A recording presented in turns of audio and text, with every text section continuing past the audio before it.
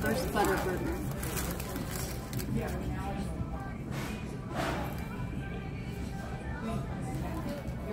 Mm.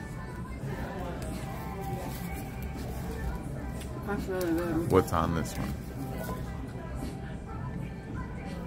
Cheddar, pickles, mayonnaise, ketchup, and um, lettuce.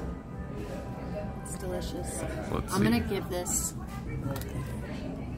for burgers. I'll give it an 8.5. 8.5. What's the bun to meat ratio? Mm. That's where I got it. But the french fries are 10 out of 10. I had tried that. And I like the same. Feeling all bubbly inside.